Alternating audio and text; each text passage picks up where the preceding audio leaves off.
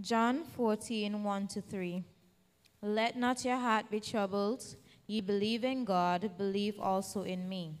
In my Father's house are many mansions. If it were not so, I would have told you. I go to prepare a place for you. And if I go and prepare a place for you, I will come again and will receive you unto myself, that where I am, there ye may be also.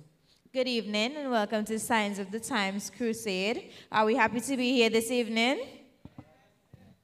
I am very happy to be here. That's lovely. God has been extremely good to us throughout the first week of this crusade, and we are also expecting the same outpouring of blessings this week. At this school of study, we learn, we understand, and we put to practice what we hear night after night. I hope everybody has been doing the same. Yes, yes, we have. The big question for tonight is from here to where? Let us be open and reciprocate to this message. Be blessed. invite us to stand for prayer.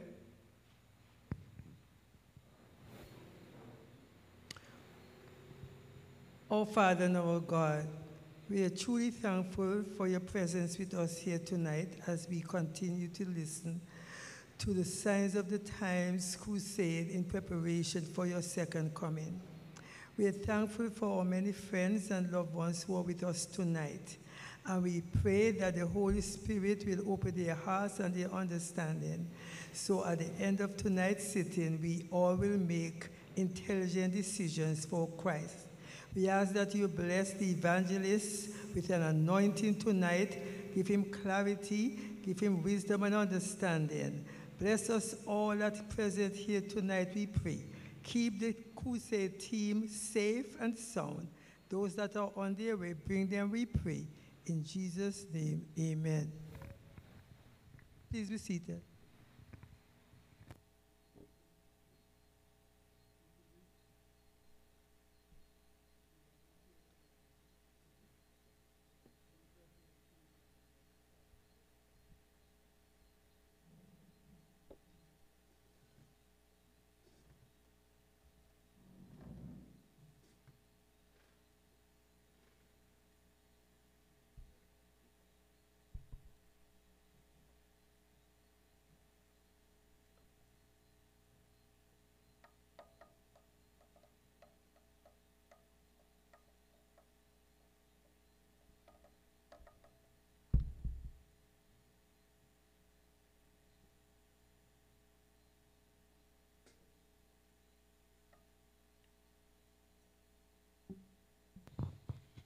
Good night, everyone.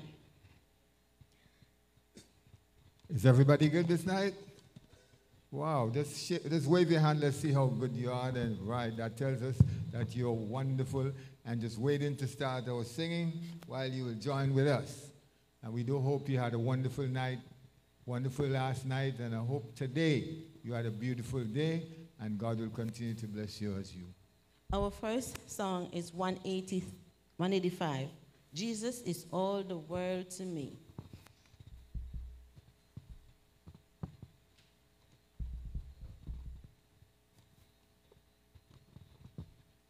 After two, one, two. Jesus is all the world to me, my life, my joy, my all.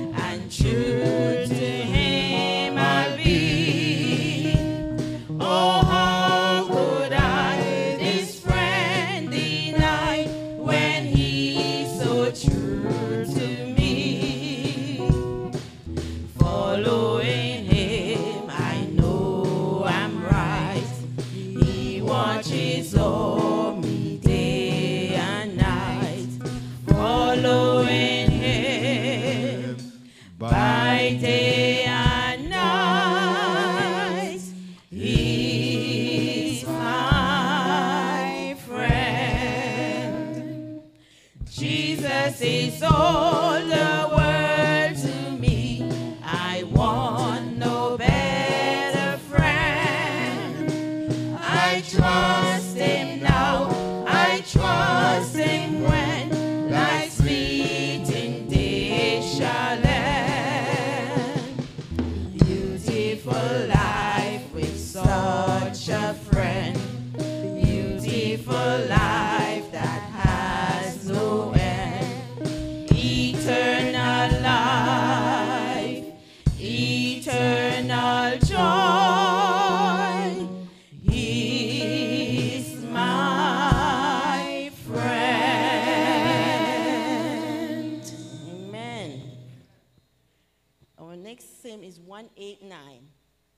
189. Who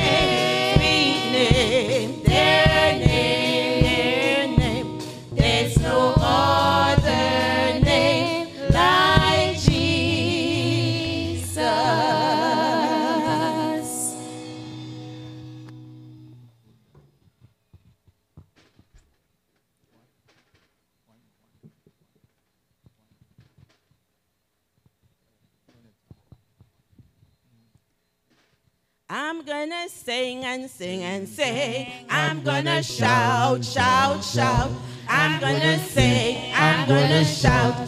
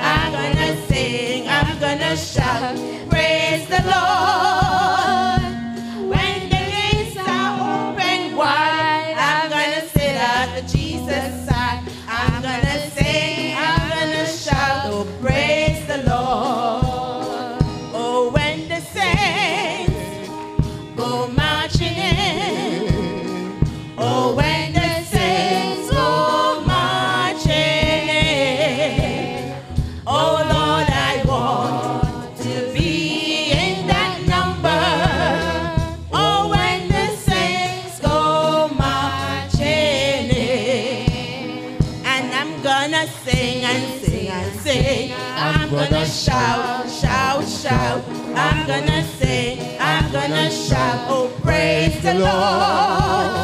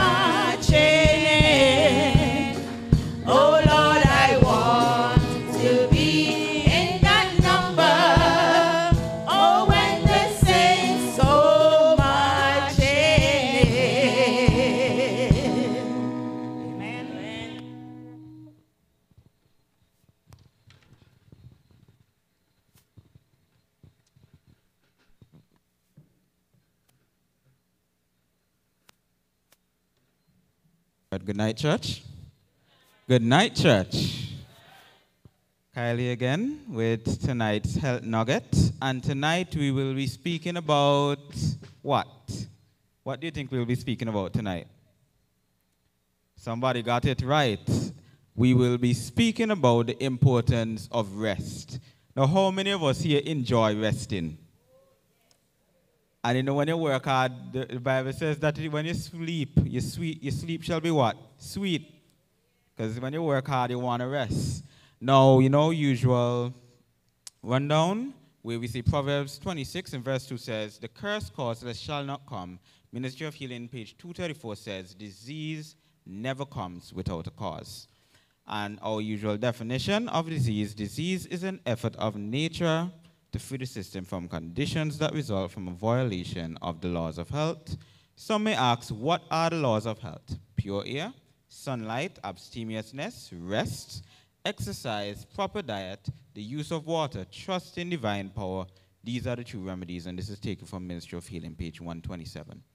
It says, There is a daily choice that we have to make. The invitation comes daily. Come unto me, all ye that labor and are heavy laden, and I will give you what? Rest. So we can only find rest in who? In Jesus. It says here, those who make great exertions to accomplish so much work in a given time and continue to labor when their judgment tells them they should rest are never gainers. They are living on borrowed capital.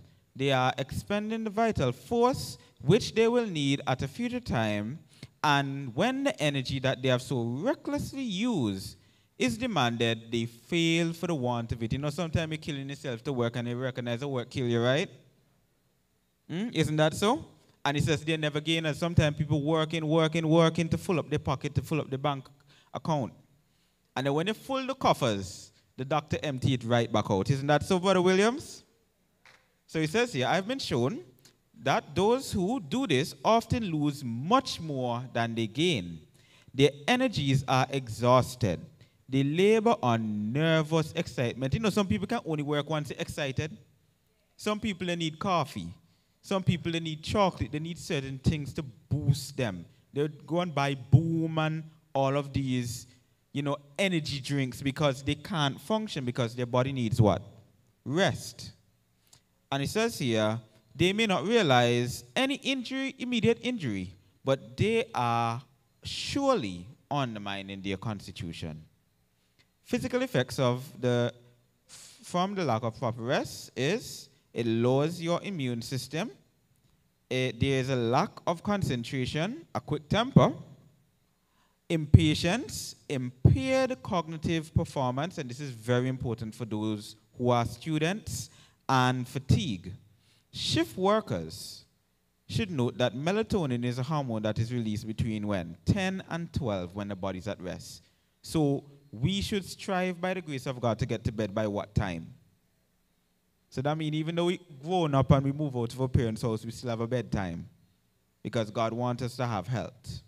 Now he says melatonin is the body's natural antioxidant and tumor suppressant. So sometimes people may have cancer, they may have other tumor, other diseases.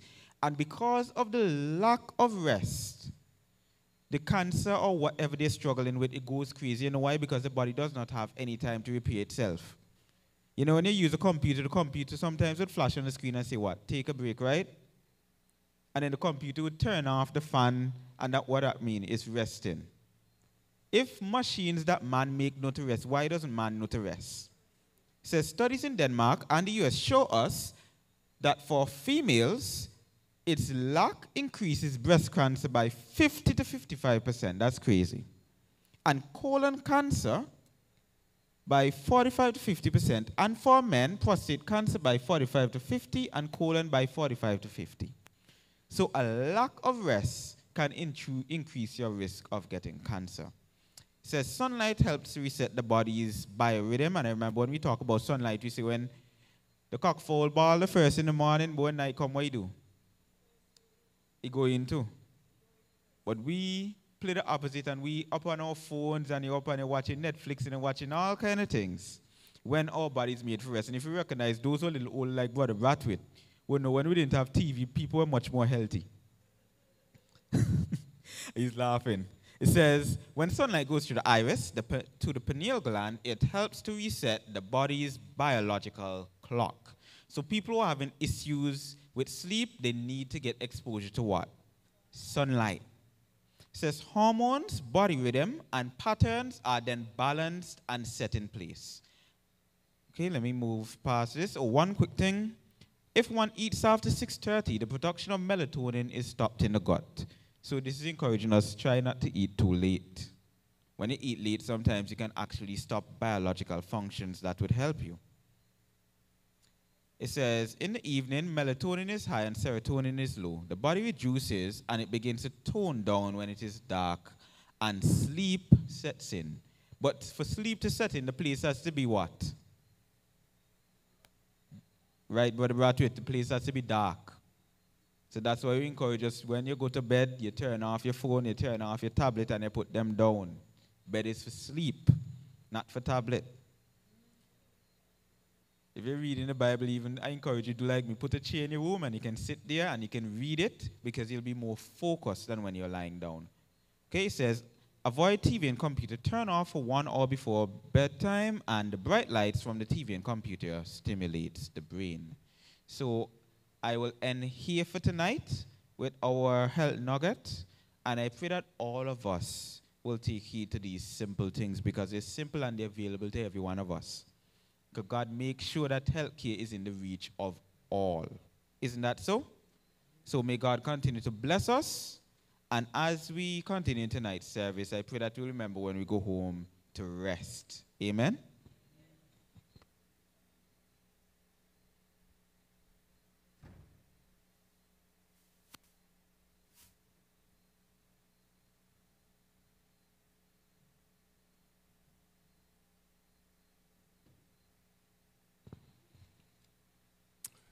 Good night, everybody.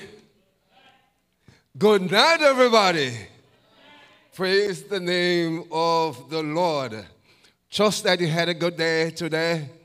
You know, God is good to all of us, and we can testify of God's grace, His goodness, His love, His kindness, His patience, His compassion, His healing virtues. Will somebody say, Amen? It's my duty tonight to greet us and to welcome us once again into the house of the Lord where we can sit once again as one man's children at the feet of Jesus as he speaks to us his marvelous, wonderful words of life. Will somebody say amen? All right, if you're just coming for the first time, if there anybody tonight coming for the first time, anybody for the first time, nobody for the first time. All right, just want to encourage us to remind our friends as we visit with them, just give them a gentle reminder. Let them know the best place to be is over here at Bible Speaks at the Signs of the Times Gospel Seminar. Amen?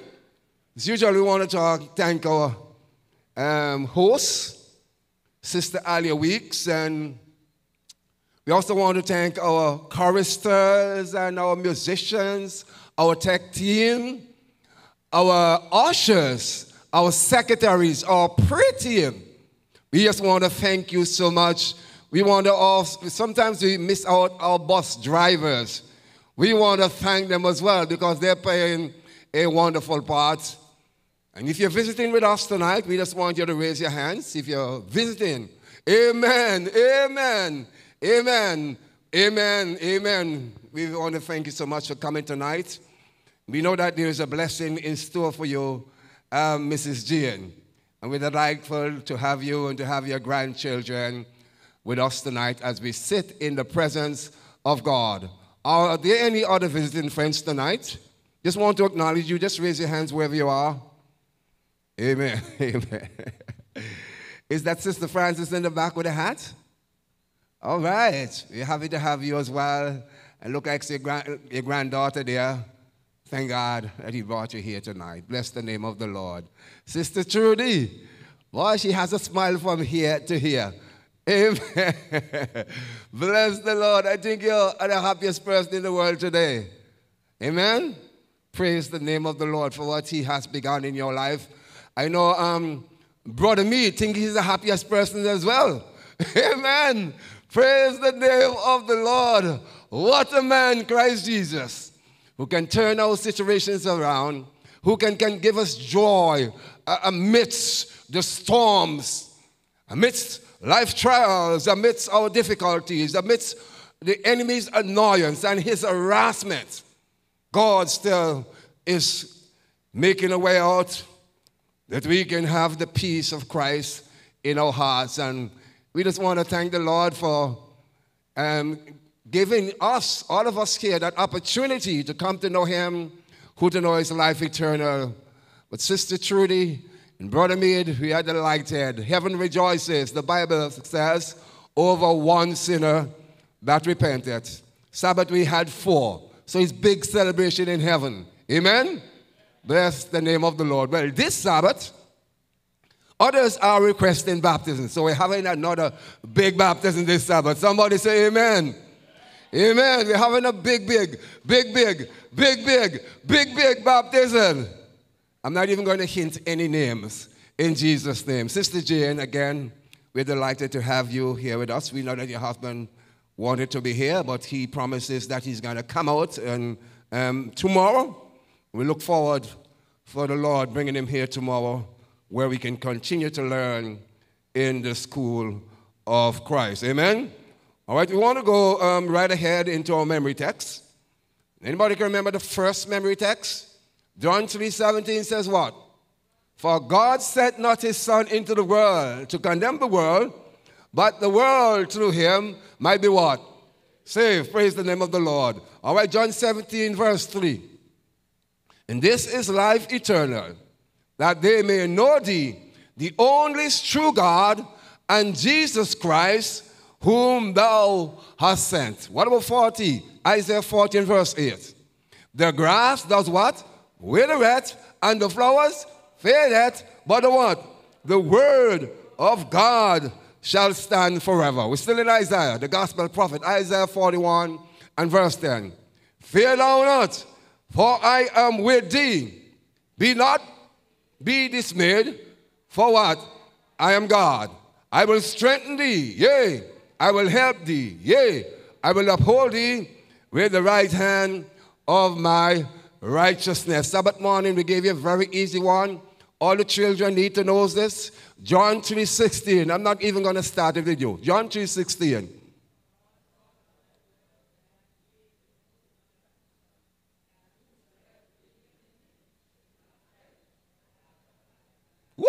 What a promise! God gave the best gift of heaven unto us.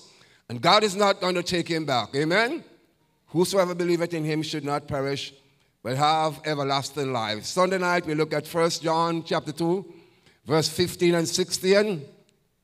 Anybody remember that? Anybody remember that? 1 John chapter 2, verse 15 and 16. Love not the world, neither the things of the world. For if any man love the world, the love of the Father is not in him. For all that is in the world, the lust of the eyes, the lust of the flesh, and the, the pride of life is not of the Father, but of the what? Of the world. Tonight is another easy one, and it's taken from Luke chapter 19, verse 10. The Son of Man came to seek and to save that which was what? Lost. And that is who? This planet. Amen? We were alienated from the Israel of God. We were alienated from God's creatures. In other words, we were quarantined because of sin. But Jesus, the great physician, came to fix that issue, that problem. All right? So um, tonight we are moving on. Yesterday we looked at the greatest show on earth. Tonight we're looking from here to where. It's a big question. The Bible is going to answer that question for us tonight.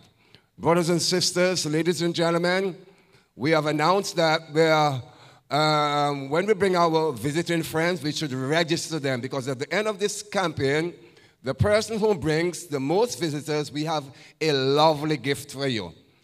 All right? And that's not all. The visitor that bring the most visitors, we have a gift for you as well. But when you come, make sure you stop at the secretary's desk and you register, register um, your visitors. Amen? God bless you as we wait on the Lord until I come again.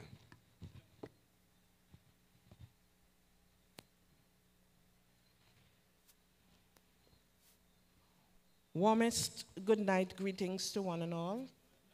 The psalmist David declares, The earth is the Lord and the fullness thereof, and they and the world and all that dwell within it. So we count it a great privilege to be able to give back what God has given to us.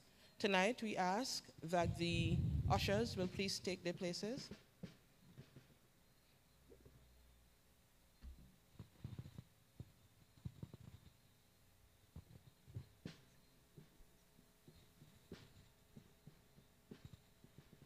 Let us pray.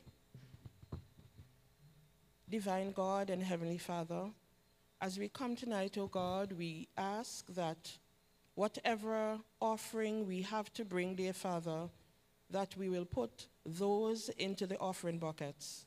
But tonight, O oh God, we bring of ourselves, and we pray, dear God, that as we give ourselves to you, that you will transform us in you, O oh God, continue to use tonight's offering to your name's honor and glory. In Jesus' name we pray. Amen. Amen. When the praises go up and the blessings come down, when the praises go up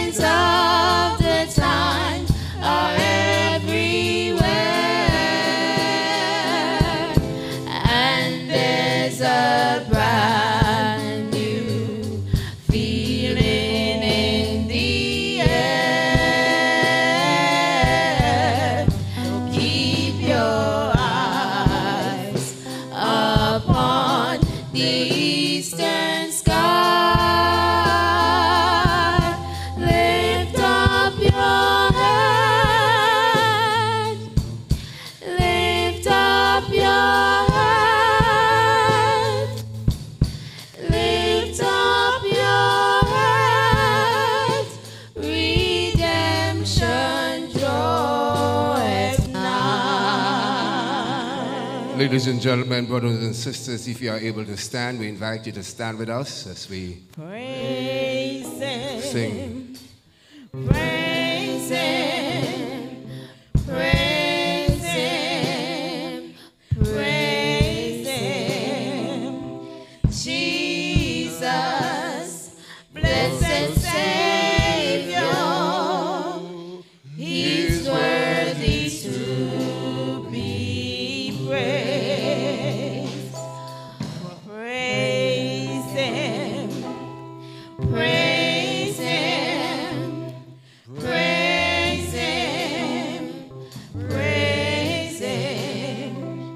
Jesus,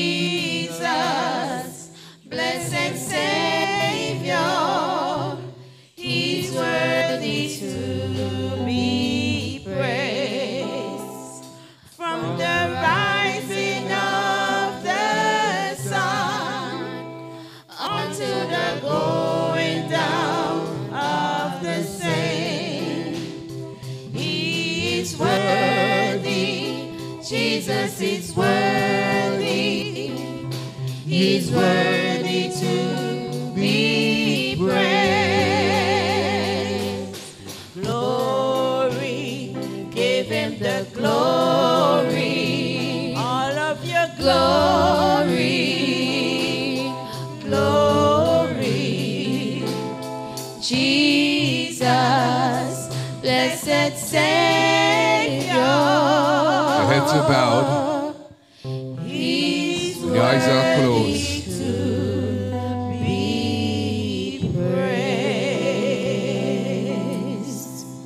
Father, and O God which art in heaven, hallowed be thy name.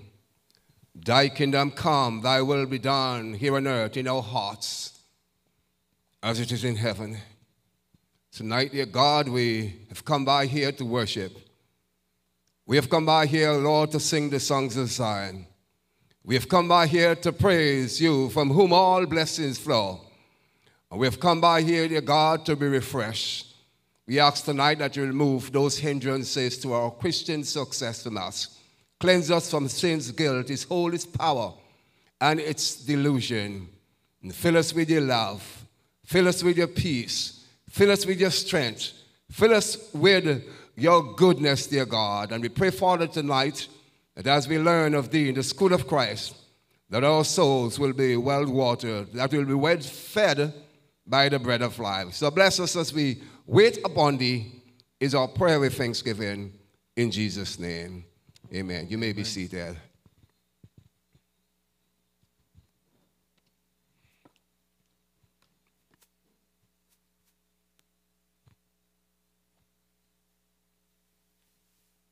Well, I just want to welcome Elder Tong. See you just walking a few minutes ago. As usual, we are delighted to have you here with us as we sit together, as we sit in the presence of God. Brother Martin, we're happy to have you as well. And we pray that as we go forward, that we will go forward in the strength and power of Christ.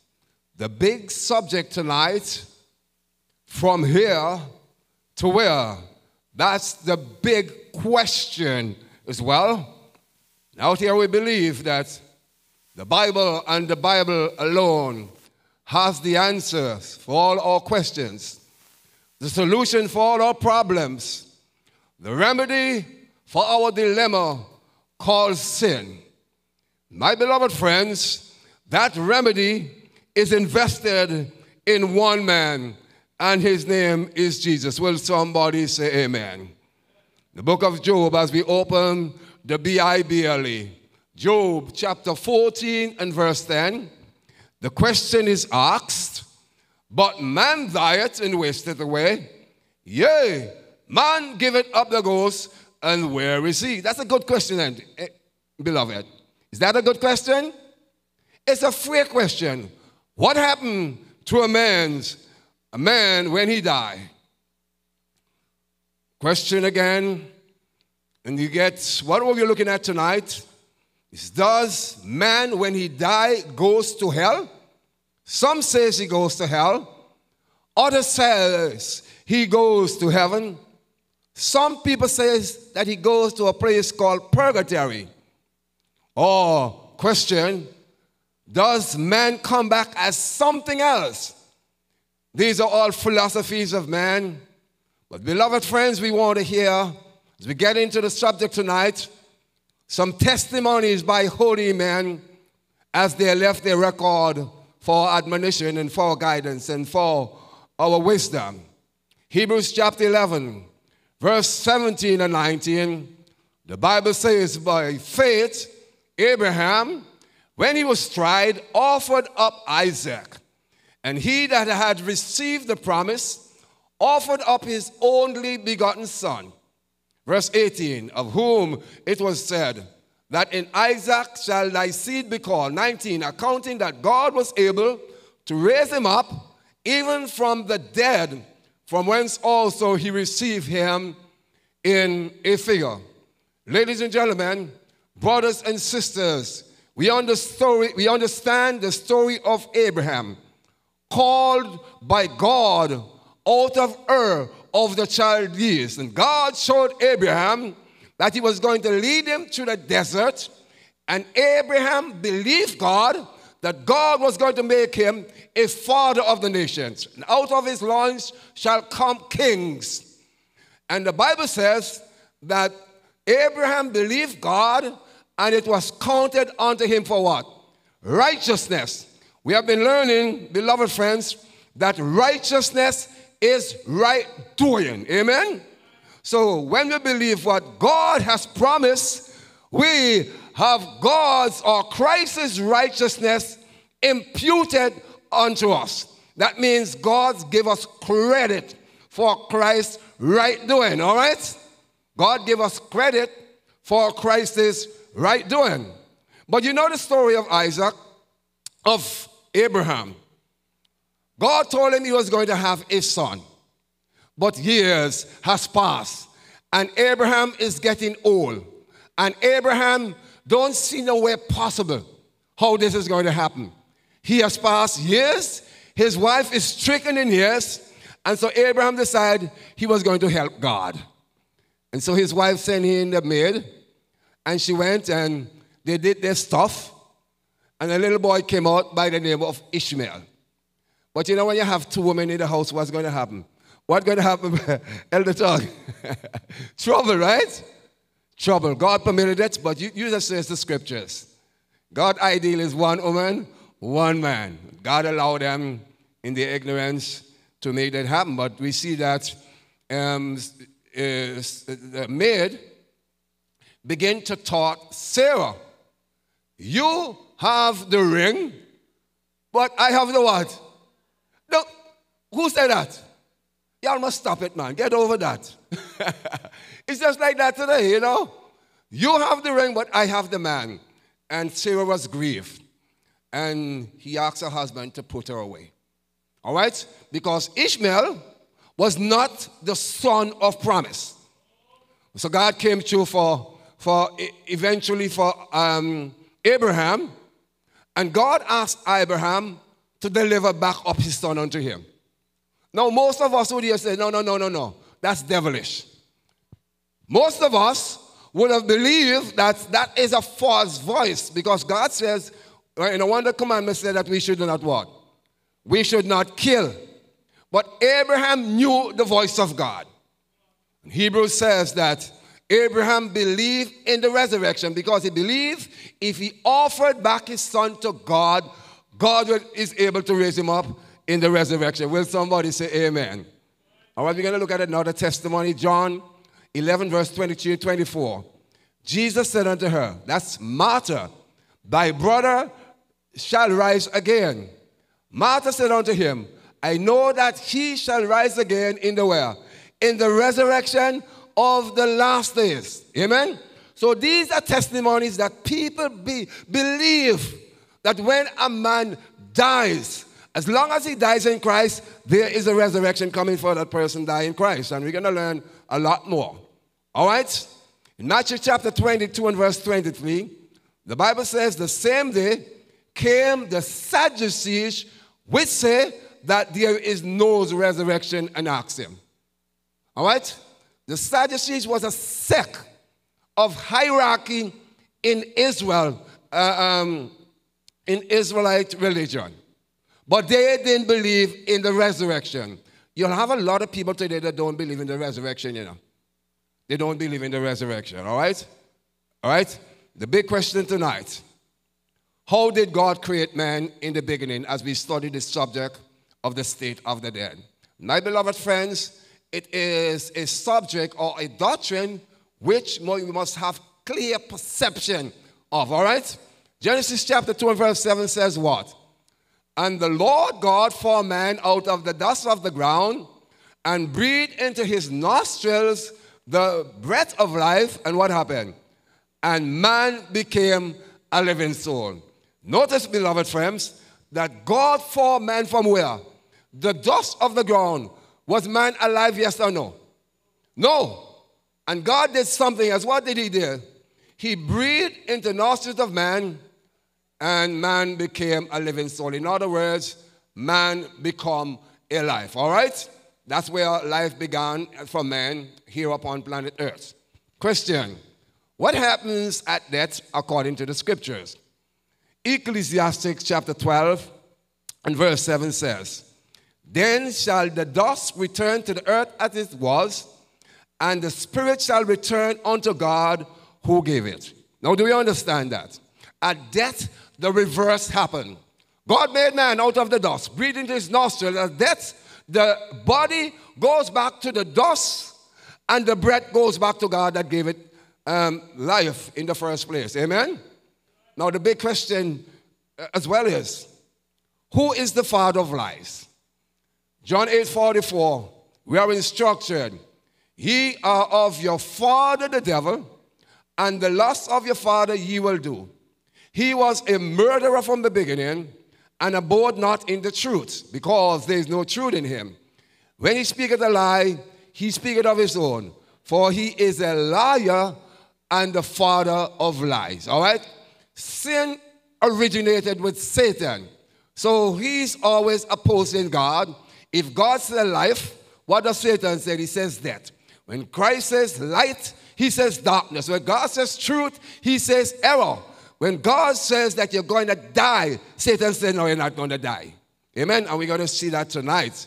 And Jesus called him the father of lies. And those who follow his path are his children. But I thank God tonight that Jesus came to this earth, to the sin cursed earth, in a hopeless world to save sinners from our sins. Genesis chapter 3 and verse 4. We know the story. It says, And the serpent said unto the woman, He shall not surely die. We know the story, read it um, a few nights ago. We read it throughout our Christian history that the devil went to Eve, who was alone, away from her husband's side, and he came as a friend. And he said unto her, Yea, had God said that you should not eat of the tree of, the, of, of good and evil? And the woman was quick she says, God did not say that. God said we should not eat of it, nor touch it, lest we die. And the devil said, What? Ye shall not surely die. When God said you're going to die, you're going to die. Don't let nobody change that. Amen? Don't let nobody change that. Romans chapter 6 and verse 23, what does that say? For the wages of sin is what? But the gift of God is eternal life not through any preacher, not through any boss, not through any intellectual, but to whom? Jesus Christ our Lord. But the wages of sin is death. That's what Satan brings. That's what disobedience brings. That's what fear and doubts brings. That's what Satan brings. But Christ came that we might have life and have it what? Jesus says, The thief cometh not but to kill, to steal, and destroy. But I might, I'm, I am come that you might have life and have it more abundantly. Ladies and gentlemen, in Isaiah chapter 9 and verse 6, the Bible declares, For unto us a son is born, and unto us a child is given. Amen? And the government shall be upon his shoulder And his name shall be called what? Wonderful, Counselor, the mighty God, the everlasting Father, the Prince of Peace. Isaiah was known as the gospel prophet, but Isaiah, through the presence and power and influence of the Holy Spirit, has brought hope to every sinner. The Bible says that the whole government of heaven, the government of glory, was represented unto us, was revealed unto us through the life and death and burial and resurrection of Jesus. Christ came to this earth to save sinners. Christ came to this earth to reveal the Father's character of love, of care, of goodness, of loving kindness, of truth, of power. Christ came to this earth to represent the character of Christ. The character, sorry, of God. The character of God was on the line. There was doubt in the minds of the unfallen world as to the character of Satan. Christ could have killed Satan the minute that he sinned. But the angels will serve God out of fear. So God allow him to live. So he can demonstrate his sophistries, his lies, his maliciousness, his cruelty, his rebellion, his hatred for God and for Jesus and for the truth and for the law of God. God allow him. God sent forth his son, my beloved friends, in this cruel world, this wicked world, this world, my beloved friends, filled with sinners, God sent forth his son that man might be reconciled, that our minds might be healed, that the truth of God can be our shield and our buckler. So Christ came. His, his job was weighty. His job was heavy. His job was to reveal the character of God the Father and the blessedness of his will and of his truth and of his power and of his goodness for the sinner. My beloved friends, we are all helpless without Jesus. Do you know that? All of us are helpless. We are unable to recover ourselves from sin. Night after night, we are saying that. Night after night, we are going over by that. If we could have healed and helped and recover ourselves from sin's guilt and its stain, Christ would not come down here to this earth to suffer this cruel humiliation. Christ understood that we needed help. The Bible called it grace, God's unmerited favor. In Romans chapter 5 and verse 10, the Bible says, When we were yet enemies to Christ, Christ came and died for us. He didn't wait until we start to love him because we can't do it without him coming to us. Can't do it. Can't do it. Job 14 and verse says, who, Job 14 and verse 4, the Bible says, who can bring a clean thing out of unclean thing? Romans 3 and verse 10 and 11, the Bible says, there is none that doeth good, none that seeketh after righteousness. Tonight we gave you a text in Luke chapter 19 and verse 10.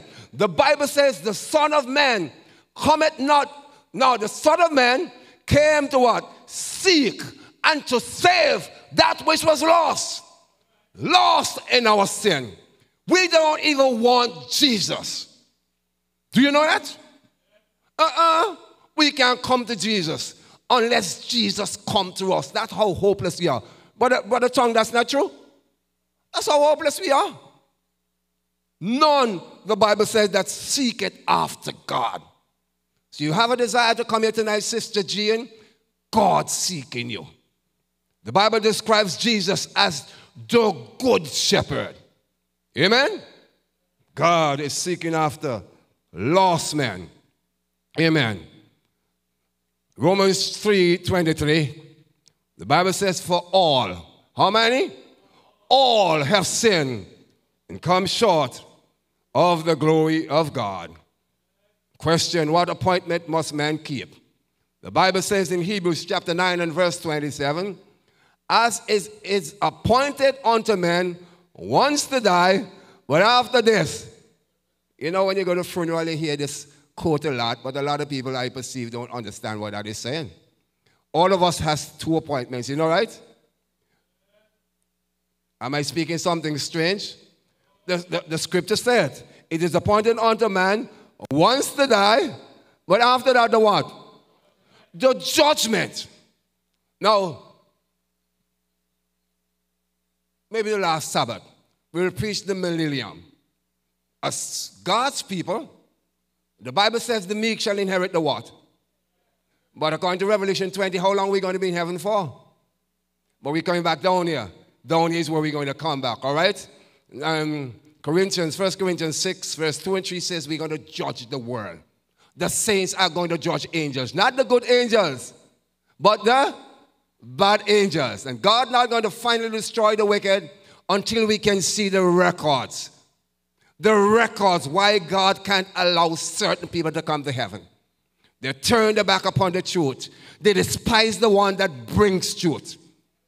My Lord. My Lord. And God is going to show us the record. He's going to show us the record. Amen? He's going to show us the record. So man has an appointment to die. Some of us are going to be alive now when Christ comes. But once your time is up, you're going to die. It's an appointment that you can't put off. You can't say, Lord, have mercy upon me when the, when the, the death calls hand come for you. I mean, the king Hezekiah, he was going to die and he prayed to God and God gave him how many more years? How many more years? 15 more years. God gave him 15 more years. Beloved friends, we are living in a time when I believe the Lord shall come very shortly. God is making up his number, and that's why we're here tonight. We're here tonight to hear the word of God and to learn his, the school of Christ, what the Lord has prepared for us in the end of the world that we might not be deceived, all right? So after death is the judgment, all right? Okay, what is man's concern about that? Job 14 14 says, If a man die, shall he live again? All the days of my appointed time will I wait till my change come. That's a great question. If I die, yeah, is that the end? And Job gave the answer, he wrote the answer, he says there, all the days of my appointed time will I wait till my change come. I said Job wrote it, but did you know who wrote the book of Job? Somebody has to know. Pastor, hush him out. Who wrote the book of Job? It was Moses. Moses wrote the five books of the Bible called the Law, or the Pentateuch, or the Torah, but he also wrote the book of Job, all right? Job 16:22. Big question is, where is the dead at this time? A few years are come, then I shall go to the way whence I shall not return. All right? So, God, beloved friends, when men came fresh from the hand of God, in spite of their sin, men used to live hundreds of years. Do you know that? Methuselah lived 969 years. Noah lived 950 years. Adam lived 930 years. Men lived 800, 700 years. Amen? But God saw that the hearts of men was only evil continually. God cleansed this earth of sin with the waters, and we call a flood of Noah. All right? But after that, men begin to deteriorate in quick succession. All right? They begin to live less and less and less. Abraham lived, I think it's 137 years. Moses 120 something. And God says three score and ten. And Sister Williams and Brother Williams. Amen and Sister Jean. He said, if you take care of your body, you can live past that. Not true, Brother Walter? Yeah? Not true? 70 years, Brother Williams, he gave us.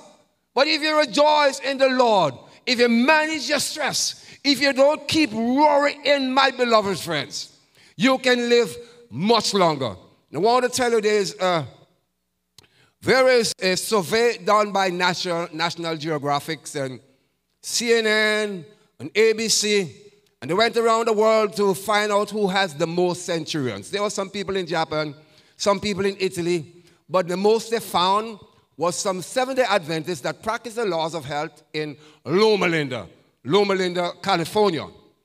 They have the most centurions. And this study revealed that the Seventh day Adventists live an, an average of 10 to 14 years longer than everybody else in the world. These are they that practice the laws of health. Amen?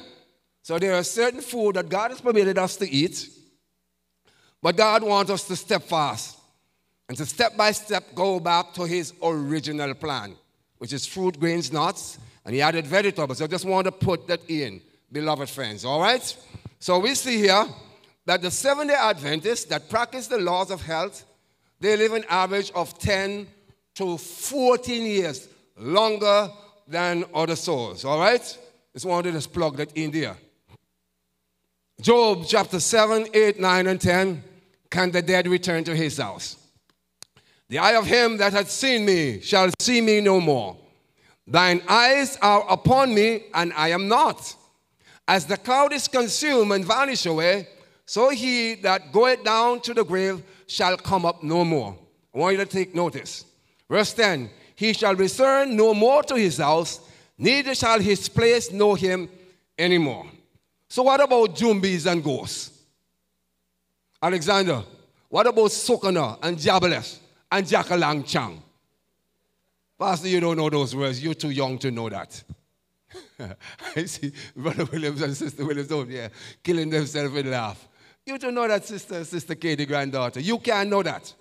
We used to have stories of, of men disappearing and reappearing and great balls of fire and pumpkin this and man turning into dog and all kind of stuff. Fred, like what? Amen? Some folks don't even walk close to, to the barren ground. Afraid. Amen? We're going to find out something here tonight. I told you before, when my dad died, I went up into his room, I was schooling out, and two persons came to me. It was a Sunday evening, and the third time I woke, they woke me up because I was sleeping early. The third time I woke, I see somebody standing up by, or claim I see somebody standing up down by the bed, the feet, the foot of the bed. And like he had a lamp in his hand, he looked like daddy. So I began to twiddle my finger, make sure I'm not sleeping, I'm not dreaming. Amen? And you know, my father had a friend, and she sent me to La Chiquita. Brother Dick, they buy something called Indian head. It's prayed to keep out Jumbi. but the first is, boy, this is a word. What a thing for the dog. Amen? But thank God for, for the knowledge of the truth. When I came to this church, the word of God says that they don't know anything. He can't come back to his house. Amen? Can't come back to his house. The devil was playing tricks on me, and he played tricks on countless millions, billions. We're standing on the word of God. We're not standing on anybody's experience. The word of God. All right? We're standing on the word of God. All right? Job 14, verse 21. The big question do the dead know anything? The Bible says here, his sons come to honor and knoweth it not, and they are brought low, and he perceive it not. You know, when your parents are alive, it's the best time to visit them. Cook some lunch, talk with them, hug them up, do something nice for them, my beloved friends. Love your parents. You know, I teach my children all the time the fifth commandment is the only commandment is a promise. Do you know that? What does it say? Honor your father and your mother, that your days may be long upon the land which the Lord thy God giveth you. Are your children talking bad words, as we call it, indecent language to their parents? Have mercy, Lord. And we are told that it means that we are to honor gray hair. Amen? and honor those who are in charge of you. Sometimes, you know, parents can be a little ticklish sometimes. We can be a little rough sometimes. But this is no time to dishonor your parents. Amen? And that's the only promise in the Ten Commandments that Paul says the only commandment with a promise. Okay? And so I'm saying here that at death, children are there and they're crying, but all their life, mommy's sick, but they won't visit. They won't give a, a call. They're dependent on little sister or big brother or some other person to go and visit, and they would not visit their parents. And we got to be careful. But at, at the funeral, nobody in the world can cry more than them. Bawling, and some of them hold their stomach, and if they could jump down in the grave, they will do that. But poor granny down there, she don't know a single thing what's happening. If you come, she don't know. If you don't come, she don't know. If you speak well, she don't know. She can't hear. If you brought flowers, and she could have spoken, she could have said, you could have given them a few weeks ago. Now is the time to take care of your parents, your grandparents, to visit with them, to comfort them, to do whatever you can do to make their mature life comfortable. I thank God for parents. Amen.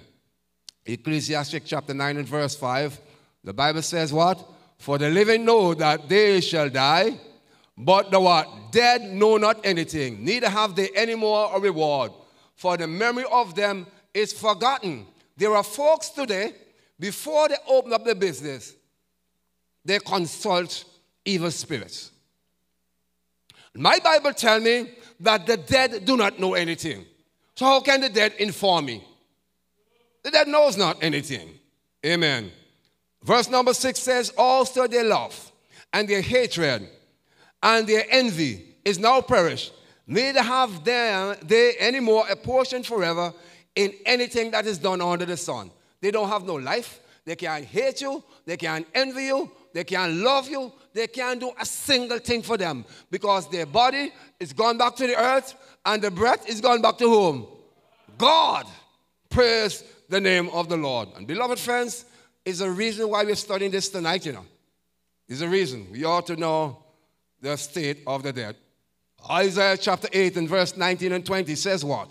And when they shall say unto you, Seek unto them that have familiar spirits, and unto wizards that peep, and that mutter, shall not a people seek unto their God for the living to the dead? Beloved friends, when you go into your challenges, see God. If You're going through some rough times, seek God. Amen? When things are happening to you, don't put on no guard ring. Don't put on any guard ring. You're having demonic powers. The devil can harm you, all right? Can't harm you when your life is in Christ. We learned that before. Amen? It cannot harm you. Matter of fact, we are told by the gospel prophet, Isaiah 54, verse 17, what he says what? No weapons that is formed against you shall do what? Prosper. For in the judgment, every tongue that rises up against you, thou shalt condemn. And this is the heritage of the servants of God, and their righteousness is of me, says the who? Of the Lord.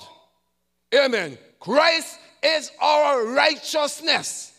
Only what Christ has done has satisfied the claims of the law.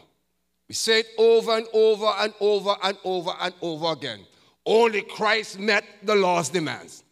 The law says if you sin, you're going to die. That must be fulfilled. That is the justice that comes from the law.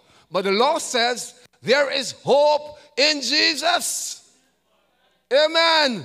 Amen. The Bible says that the blood of Jesus cleanses us from how many sin? All sin. We deserve to die. But Jesus paid it all. Praise the name of the Lord. So don't go to no Obeah man. If you're having any family problems, don't go to no Obeah man. If you're having any financial difficulties, don't seek the Obeah man. Amen? If you're looking for a husband or a wife, don't go looking to no Obeah man. If you're having problems on your jobs and you want promotion, don't go to any Obeah man. You're just seeking the devil and you're seeking darkness and you're bringing a curse upon yourself and your families. And if you're doing it right now by the grace of God, God has the power, Sister Katie, to forgive you and to give you power over these demonic activities. Will somebody say amen? Praise the name of the Lord. The Bible says, to the law and to the testimony, if they speak not according to this word, it is because there is no light on them. The Obeah man don't want to hear the law. And they hate all the testimonies of the law. And the Bible says, don't go to them because there are no light in them. All right? They might have some sweet, enticing words. You understand? What a lovely lady like you doing with such a cruel man. I'm going to give you a ring to keep your husband. Uh, Brother Simon, well, God is good. Amen. Some of you look very serious down there, but this is real stuff. this is truly, this is real stuff, you know. And God is a real God. And He wants to give us hope. And He wants to give us peace. And He wants to give us victory. Amen? Bless the name of the Lord. Psalms 115, verse 17, the Bible says, The dead praise not the Lord, neither any that goes down into silence. If you want to praise God, from whom all blessings flow, you have an opportunity now. Nobody can stop you. When you're going to the grave, no matter how much saint you are, you can give God praise. Amen? Psalm 6 and verse 5. For in that there is no remembrance of thee for the grave. For in the grave, who shall give thee thanks? If you want to express your gratitude to God for sending us Jesus, give him thanks now. Get up early in the morning, have that spirit of gratitude that God has put you to sleep and God has watched over you God has protected you. God has woke you up again. God is still with you. And God has promised you. And God is still working on you. And God wants to use you. And God has a purpose for you. Amen? God has a purpose for every single soul upon planet Earth. Whether we will realize and accept that purpose is our choice. But God, the Bible says, is not willing that any should perish, but how much? All beloved should come to repentance. God has a purpose for every single soul. Young man, God has a purpose for you. My little friend, today, God has a purpose for you. Not our children, not our friends, not our brethren. God has a purpose for you. Went by my little friend today, and she was stricken. Couldn't even walk. She fell on the ground. And the Lord has shown me what happened. She was crossing her foot. And her grandfather says that it always happened to her. You understand? So I raise her up, I lift her up again, I lift her up, and I tell the grandmother, your dream, that we should not let her cross her legs. I learned that from, I believe it's from another um, health professional. This man was on a plane and they couldn't find out why he wasn't moving. But his leg was crossed, and what he did, he closed off the circulation of blood. I think this is what happened to our young friend today. I went for my little oil and anointed her, anointed the whole family. I prayed with them. Look at her tonight. This morning she's going to walk. Praise God. Praise God. God is real, beloved friends. God is real. God is real. Praise the name of the Lord. Amen. Okay, we're moving on. Revelation 16 and verse 13 tells us who are doing these miracles. The Bible says, I saw three unclean spirits like frogs come out of the mouth of the dragon, and out of the mouth of the beast, and out of the mouth of the false prophet. For they are the spirits of devils, working miracles, which go forth unto the kings of the earth and of the whole world to gather them to the battle of the great day of God Almighty. Ladies and gentlemen, when you see folks come looking like your granddaddy and your grandmammy, and when you're tempted to go to the Obeah man, they can't help you. The devil is going to do some foolishness in the end of the world, and many of us are going to be challenged. You might have a situation in your life and you're praying. I, I, I just want to drop this in. There's a book called Sunday's Coming, written by um, Edward Reid, who was our General Conference um, stewardship leader at one time. And he gave a story of one of our Assembly Adventist pastors. And they had a little seminar to go to. And he was praying for his daughter for a long time. Nothing seemed to be happening. And he used this moment, rather than going to the seminar, he went to some spiritualist. Never came back to the church.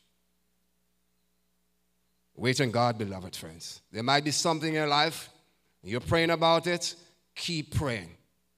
Examine your life, first of all, to see if there's any hindrance, why your prayers are not being answered the way you wanted to answer. But keep praying. Keep praying, beloved friends. Ask God if there are any hindrances to your prayers not being answered. And if God reveal it to you, beloved friends, confess it to God. Confession is not informing God. Confession is telling God, I need you. I can't help myself. God knows who is going to get baptized in this crusade. He knows before you're even born who are going to accept him and who is going to reject him. But he has given us the power of choice. He's allowing us to live out our lives and to make our choices. But God knows every single thing. Paul, the Bible says, Paul prayed to God three times. And the three times God said no. Paul was a godly man, and all Jesus said to him, My grace is sufficient for you. Someday you're going to go in a little challenge, and that all you're going to hear from God. He's not going to move the challenge from you. Because the same challenge that you're going through, it becomes a ministry. And Paul acknowledged that. He understood that. He says, Lest I become exalted above measure, I'd rather glory in mine infirmities that the power of Christ may rest upon me. Some of us are too proud and too boasting. And if God give us certain gifts, we will look down upon others and scorn them. All of us went to school. How come you don't have any money? How come you don't have this? And how come you don't have that? So God gives special gifts to some person because He know they are going to be good stewards. Y'all didn't hear that? Yeah. Uh, let, me, let me divert from that. Let me digress. Let me digress, beloved friends. Sometimes you'll be in your crucibles, and God knows that's the only way you're going to keep your focus and humble. That's what He does. That's what He does. Praise the Lord. God is good, my beloved friends. Shall mortal man be more just than God? Shall a man be more pure than his maker? Man is mortal, subject to death, my beloved friends. In 1 Timothy 6 16, who only had immortality, dwelling in light. Come, Sister Katie. Dwelling in the light which no man can approach unto, whom no man had seen, nor can see, to whom be honor and power everlasting. Amen. God alone has immortality. But God has promised us, my beloved friends, if we hold on, God has promised us, God has promised us Behold, I show you a mystery. We shall not all sleep. This sleep means that you're sleeping in Christ. And the saints who die in Christ, to him and to God, is just like a sleep. Or we shall all be changed. In a moment, in the twinkling of an eye, at the last trump, for the trumpet shall sound, and the dead shall be raised incorruptible, and we shall be changed. For this corruptible must put on incorruption, and this mortal must put on immortality.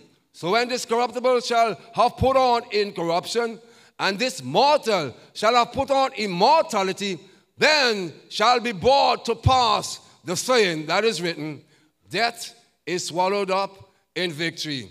My beloved friend, St. Paul says, I believe it's 1 Corinthians 15 31, that the last enemy that is going to be buried is what? Death, death is an enemy. God didn't create us to die. Didn't create us to die. Oh, death, where is thy sting?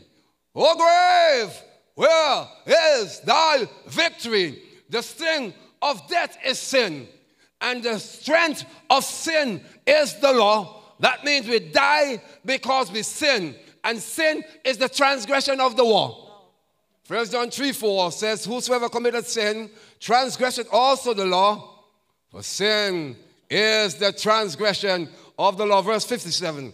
But thanks be to God, which giveth us the victory through our Lord and Savior, Jesus Christ. Beloved friends, God don't only want to pardon us. He wants to give us victory over every defect, every defilement, every earthliness, every sin, and the weight which so easily besets us. But it's a journey and it takes time. But in the end of the world, we have to be pleading with God. In the end of the world, we need to stay to step fast. Jesus is coming soon, but God promised us the what? The victory to whom? Through Jesus Christ, oh Lord. Y'all are beginning to sleep. The Bible says in 1 John chapter 5 and verse 4, for whatsoever is born of God overcometh the what? The world, and this is the victory that overcometh the world shall, shall, shall be what?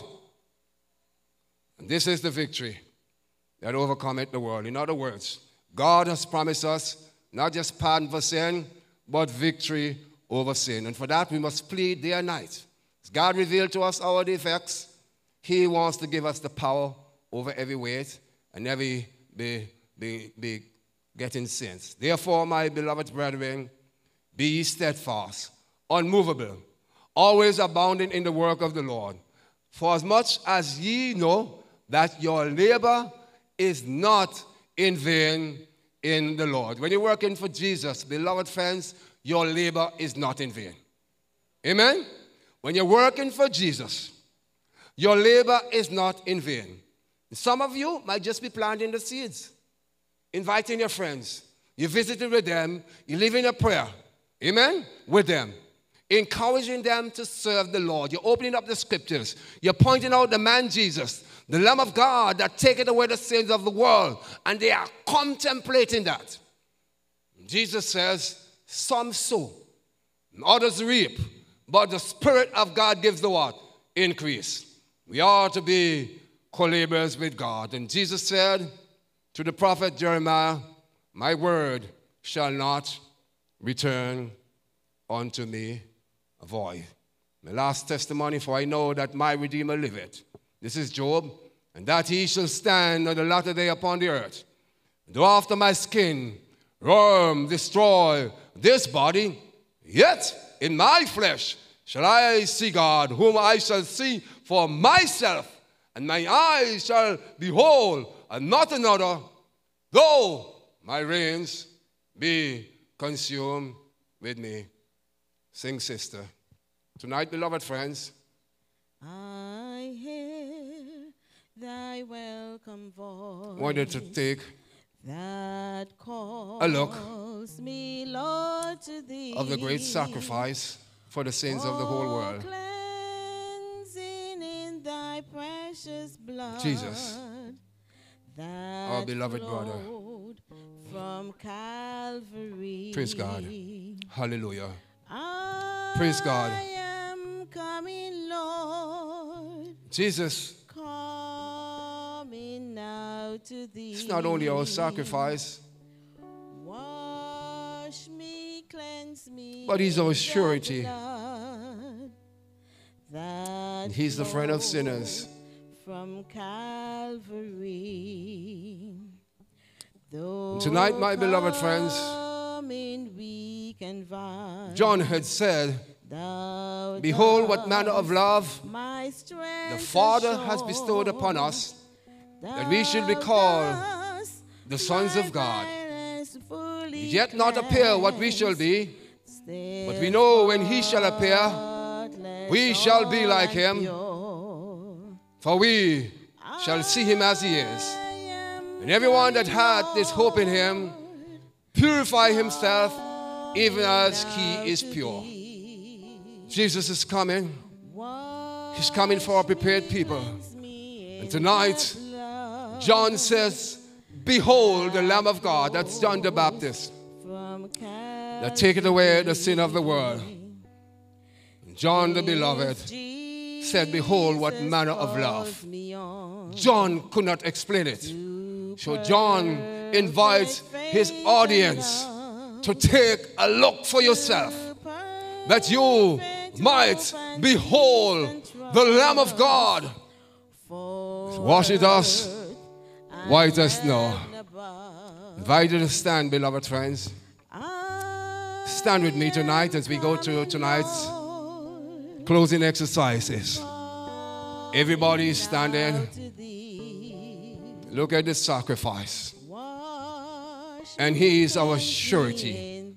Surety is a person who knows everything about you, who knows everything about two parties. He came as a man.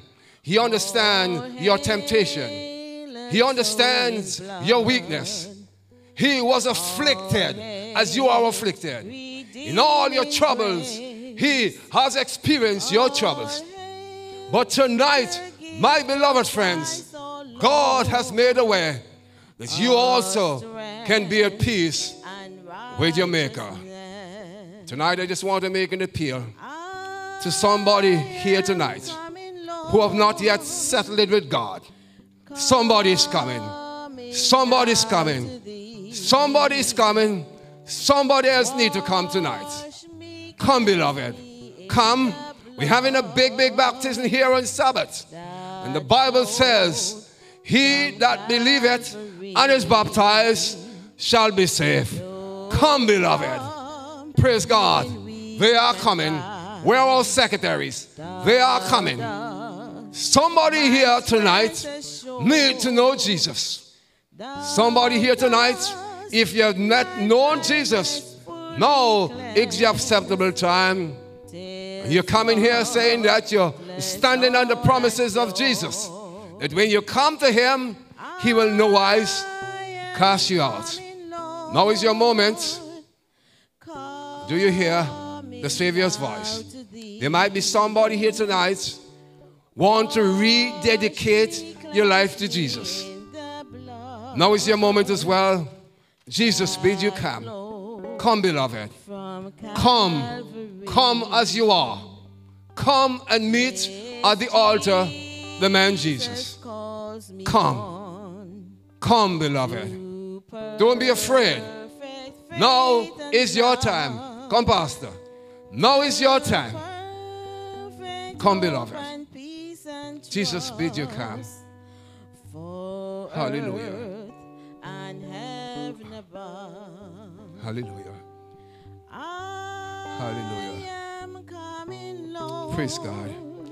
You certainly want to thank the Lord. We certainly want to thank the Lord for these two precious souls that has decided to go all the way with Jesus. Beloved friends, we remember Brother Simon, Sister Louise, Brother Simon. The dad used to be in our class. Very wonderful person. We went by the home today and remind him that I used to eat papa off of a special tree up there. So I'm coming to eat papa again in Jesus' name. His mom is such a sweet lady. Such a sweet lady. We love them. And Jesus loved them too. Is there any soul who have wandered far away from Jesus? But today you just want to be included in this prayer as the pastor come to pray for us. You have that privilege now. Come, Jean. Come. Come to Jesus. Come to Jesus. Come, friends. Bring your grandchildren too. Hallelujah. Bring your grandchildren. Come. Hallelujah. Praise the name of the Lord. Hallelujah. God cares. God cares, beloved. Now to thee. Wash me, cleanse Everybody singing, in everybody singing. That flows. that flowed from Calvary. We'll sing one last stanza, one last stanza. We sing it over.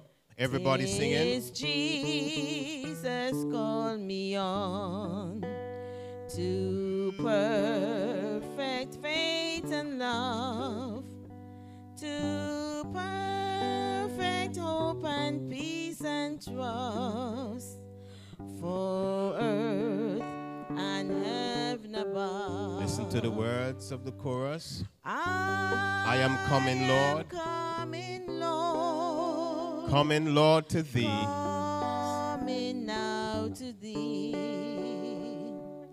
Wash me, Wash me, cleanse me in the blood the blood that flows from Calvary. that flow from Calvary. Our heads are bowed, our eyes are closed, and our hearts are lifted heavenwards. Our Father and our God, we're so thankful tonight that again you have made your word clear to us that death is not the end that you have something greater. You're more powerful than death, and so you have something greater in store for us. And that's why we are accepting you afresh. We're committing to you afresh tonight. We're so thankful for those who have come forward. I ask, dear God, that you will seal their decisions with you so that they would be saved, so that they would experience the blessings of eternal life so that when you come again, they too will be in that number when the saints go marching in. This is our desire tonight, dear God. And so we pray for each and every one who have decided for you. I pray, dear God, that you'll forgive them, that you would cleanse them. You would help them to recognize that no weapons formed against them shall prosper. You would help them to recognize that though the enemy may bring discouragement, you will come to them as a mighty rushing wind and give them hope beyond measure. So bless them, O God, tonight. Save them in your eternal kingdom. In Jesus' name we pray with thanksgiving. Let the church say, Amen. Let the words of my mouth, everybody, and the meditation of our hearts be acceptable in thy sight. O Lord, our strength and our Redeemer. Amen and amen.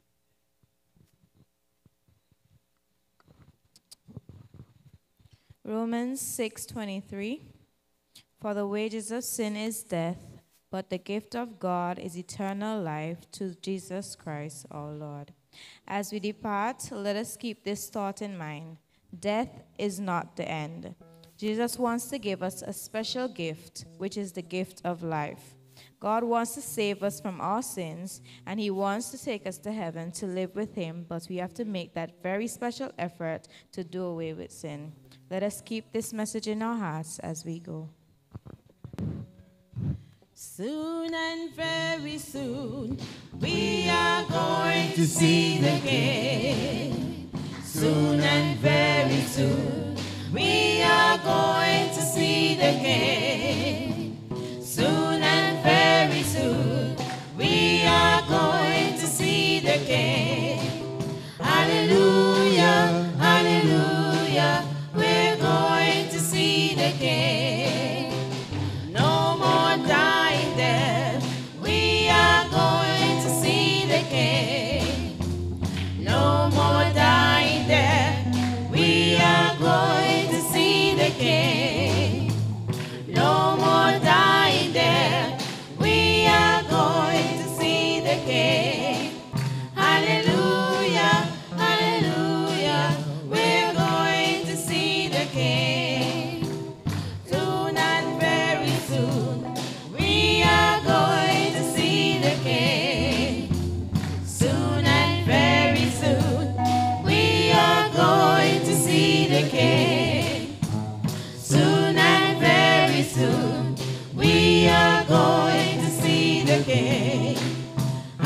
you.